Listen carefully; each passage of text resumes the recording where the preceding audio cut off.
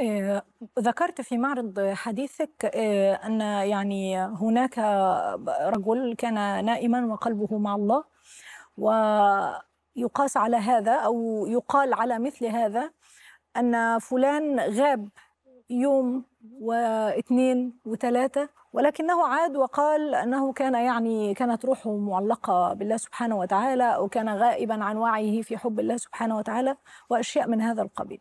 الجانب الآخر في مثل هذا أيضًا الجزء المتعلق ببعض ما يسمى الشطح، وهناك في هذا أيضًا الكثير والكثير. فما تفسير هذا على الناحية الشرعية؟ هذا الشخص الذي يغيب ثم يعود، هذا الذي يُقال عنه مكذوب، هذا الذي يُقال عنه آآ يعني له كرامات وغاب في هذه الكرامة ثم عاد، أشياء من هذا آآ القبيل. يعني دعيني أقول بأن المقدمات دائمًا تؤدي إلى النتائج، فإذا ما كانت المقدمات صحيحة أو سليمة لا شك أن ذلك يؤدي إلى نتائج صحيحة وسليمة. نفس الأمر إذا كانت المقدمات مبنية على أمور غير مستقيمة، فلا شك أنها تؤدي إلى نتائج غير. غير مستقيمة.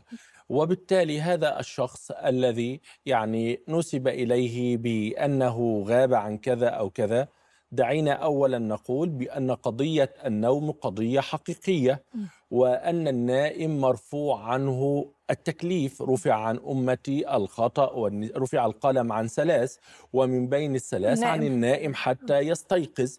فهذه قضية لابد أولًا أن نفصل فيها بين حال النائم إذا ما أوى نام. إلى إمم. فراشه ونام، ثم إذا استيقظ فأدى ما عليه من حقوق أو واجبات.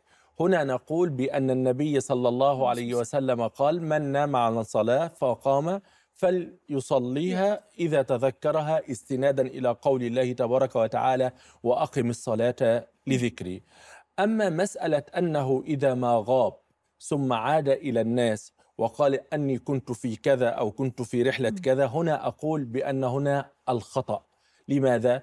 لأن البلاغة مراعاة مقتضى الحال، آه. وكما يقولون: "لكل مقام مقال. مقال،. ولكل حادث حديث". وجاء عن سيدنا علي أنه قال: "خاطبوا الناس بما يفهمون، أتريدون أن يكذب الله ورسوله؟" هنا أقول بأن هذا ربما لا أستطيع أن أكذبه أو أصدقه، لكن الأصل أن الله ما جعل علينا في الدين من حرج، ما جعل عليكم في الدين من حرج.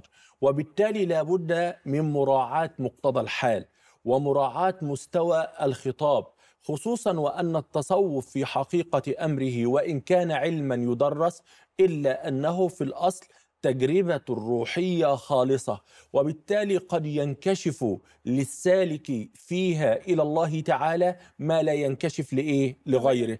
وبالتالي أُثِر عن أئمة الصوفية وعن أعلام الصوفية أن الواحد منهم كان إذا ما شاهد أو صدر عنه كرامة أو أمر من الأمور التي يُقال عنها بأنها من الأمور الخارقة، كان يقول لرفقائه: "استروها علي". ليه كان يقول كده؟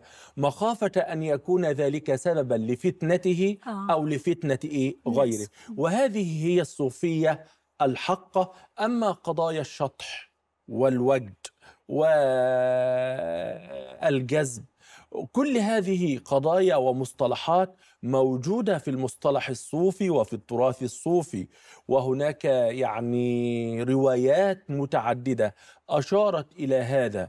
وحقيقةً مثل هذه المصطلحات أو مثل هذه الأمور ينبغي عدم الإعلان عنها أو التعرُّض عنها، لا سيما لمن لم يذُق الطريق،. لأنهم يقولون: "من ذاق عرف، ومن حُرم انحرف".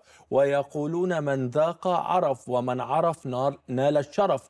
وبالتالي مثل هذه المصطلحات نجد أن الصوفية الحقة كانوا أحرص الناس على عدم إنزالها بين عوام الناس، مخافة أن يؤدي ذلك إلى ضلال للنفس أو ضلال للغير.